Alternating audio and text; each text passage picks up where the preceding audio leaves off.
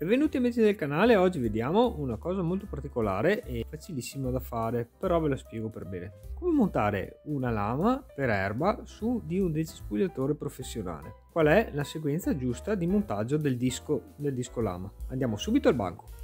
In questo caso mi sono già preparato praticamente con il decespugliatore sul banco.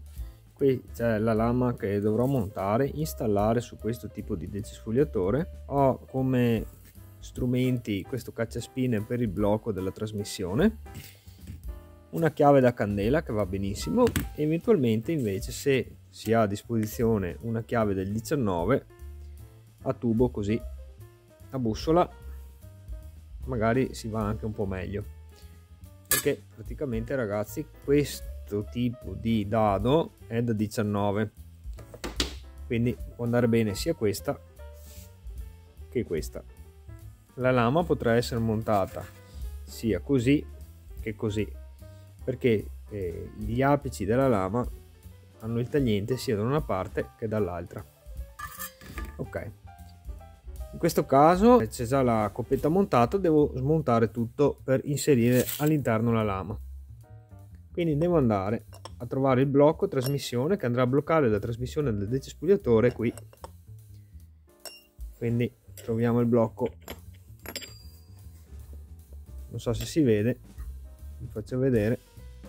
Vedete in questo caso la flangia che c'è qui sotto si allinea con il foro della coppia conica e posso inserire praticamente un blocco un bloccaggio di trasmissione. Ed ora vado a svitare il dado. Il dado ricordo che è sinistro e si svita in senso orario. Ecco qua. Ora impostiamo la chiave praticamente questa che si sviti che mi consentirà di svitare il dado in senso orario. Con una mano tengo il cacciaspine e con l'altra vado praticamente a svitare. Ok? Ok. Eventualmente se non avete una chiave così vi faccio vedere che anche con una chiave per la candela del 19 si riesce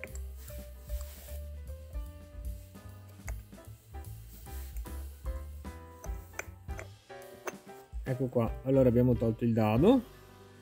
Ok. Non perdetelo perché è un filetto speciale. Poi c'è la coppetta. Questo se vi chiedete è un po' di grasso.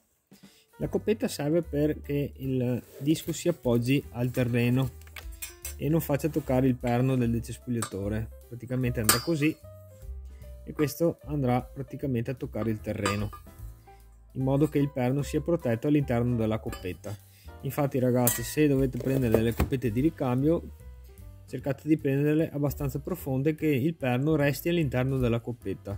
Altrimenti se il perno vi esce fuori poi mangerete il perno o il dado e sarà un problema.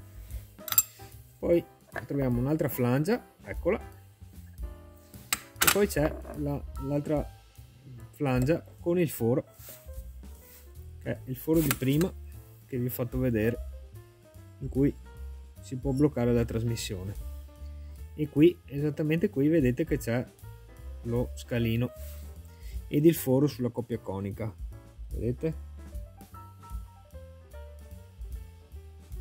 Ok ora facciamo il rimontaggio con il disco. Inseriamo prima la flangia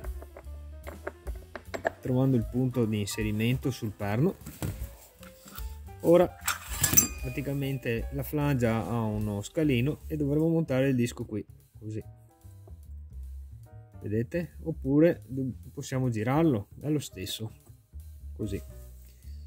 Poi dobbiamo montare l'altra flangia questa perché va a stringere il disco sulla, sulle, tra le due flange a mo' di sandwich ok? Mi raccomando che quando andate a stringere il dado non succeda questo ok non succeda questo che il, il disco non scende. Perché se lo stringiamo così poi questo vibrerà tantissimo.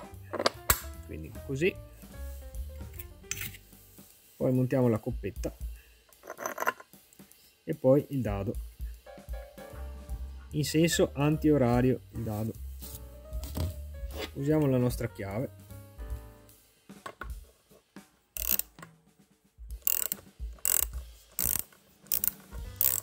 oppure possiamo usare sempre la chiave della candela. Guardate è anche più facile. Una volta arrivati qui dovete praticamente tenere il perno inserito qua. Vedete così? E praticamente tirare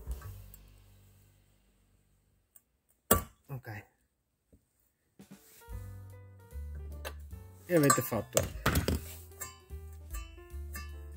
E il disco completamente montato e siete pronti per lavorare. Bene ragazzi, a puntata finita, a puntata finita. Abbiamo visto come si monta un disco su un decespugliatore eh, facilmente, rispettando praticamente la sequenza coppetta, flangia, disco e flangia di base con il foro. Bene, diciamo che la puntata finisce qui, un caro saluto ed Eric Type è tutto. A presto ragazzi, al prossimo video. Ciao!